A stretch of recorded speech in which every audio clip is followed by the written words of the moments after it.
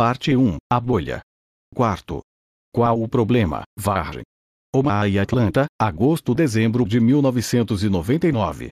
Buffett investe a quase todos os seus mais de 30 bilhões de dólares, 99% deles, em ações da Berkshire Hathaway.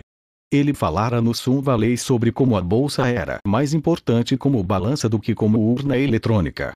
No entanto, era o número de votos que suas ações recebiam que estabelecia a altura da qual ele podia ditar as regras. As pessoas prestavam atenção simplesmente porque ele era rico. Então, quando Buffett previu que a bolsa poderia decepcionar os investidores nos 17 anos seguintes, ele coou à beira de um precipício, e sabia disso. Se estivesse enganado, não seria apenas motivo de chacota no Sun Valley, poderia despencar da sua posição no ranking dos homens mais ricos do mundo. E Buffett dava muito valor a esse ranking. No final da década de 1990, a BRK, sigla da Berkshire Hathaway na bolsa, havia reforçado seu pero, sobrepujando o mercado, até alcançar um pico de 80.900 dólares por ação em junho de 1998. O fato de o preço de uma única ação da Berkshire poder comprar um pequeno imóvel era único no mundo dos negócios americano. Para Buffett, o preço das ações representava uma medida simples do seu sucesso. E esse preço tinha subido ininterruptamente desde o dia em que ele comprara a BRK por 7,50 dólares a ação. Embora a bolsa tivesse sofrido turbulências no M da década de 1990, o investidor que houvesse comprado ações da BRK continuaria no lucro. Naquele ano de 1999, no entanto, era como se Buffett estivesse estacionado sobre uma plataforma de impopularidade, e possivelmente caminhando rumo a um naufrágio, enquanto observava o preço das ações das TIT empresas de tecnologia e telecomunicação subir sem parar. Já em agosto o valor da BRK tinha caído para 65 mil dólares por ação, quanto valia um negócio grande e estabelecido que dava aos investidores um retorno de 400 milhões de dólares por ano? E quanto valia um negócio pequeno que estava perdendo dinheiro? A Torres Rus davam um lucro de 400 milhões de dólares por ano, e suas receitas somavam 11 bilhões de dólares. A Etos amargava um prejuízo de 123 milhões de dólares por ano, e suas receitas somavam 100 milhões de dólares. A urna eletrônica da bolsa dizia que a eTOS valia 4,9 bilhões de dólares, enquanto a Torres Rus valia cerca de 1 bilhão a menos. Presumia-se que a eTOS esmagaria a Torres Rus pela internet. A única dúvida que pairava sobre a bolsa dizia respeito aos prazos. Especialistas previam que o desastre poderia ocorrer à meia-noite do dia 31 de dezembro, pois os computadores não haviam sido programados para lidar com anos que começassem com o número 2. Temendo pânico, o Federal Reserve, o Banco Central Americano, começou a aumentar depressa as reservas de dinheiro para evitar a escassez de notas caso todos os caixas eletrônicos do país parassem ao mesmo tempo. Com esse impulso extra, logo depois do encontro no Sun Valley a bolsa entrou numa espiral ascendente como uma bombinha de festa. Quem tivesse investido um dólar no Nasdaq, um índice dominado pelas ações das empresas de tecnologia, o veria passar a valer 1,25 dólar. O mesmo valor, aplicado na BRK, renderia apenas 8 centavos.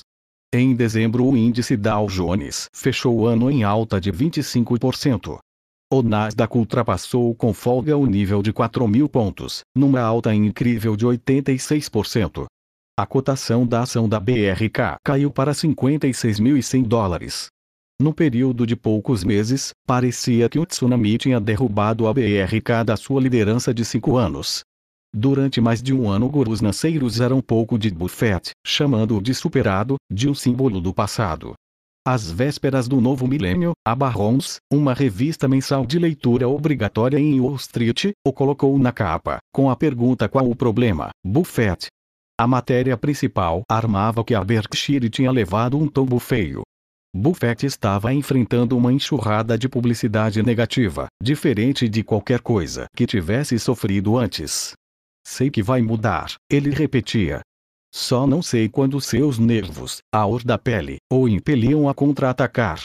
Em vez disso, não fez nada. Não reagiu. No finalzinho de 1999, até mesmo os investidores tradicionais que seguiam o estilo de Buffett estavam fechando seus negócios ou cedendo e comprando ações de empresas de tecnologia. Buffett não fez o mesmo.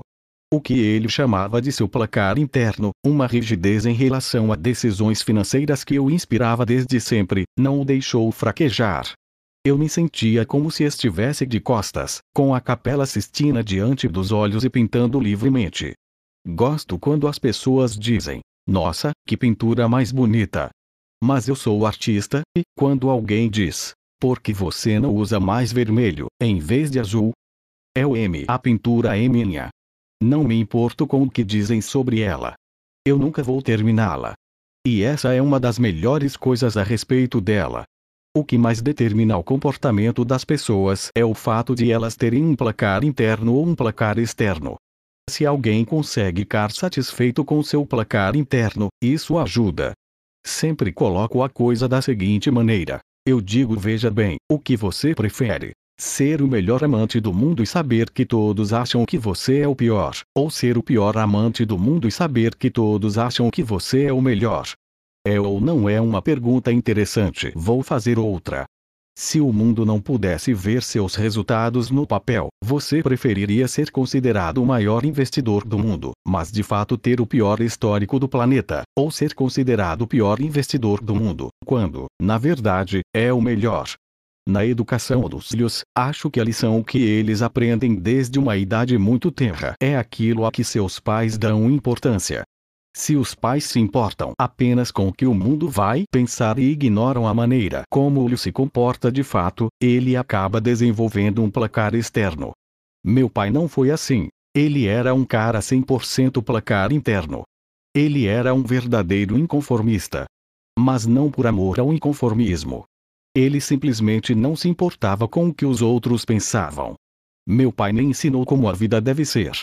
E eu nunca conheci ninguém como ele.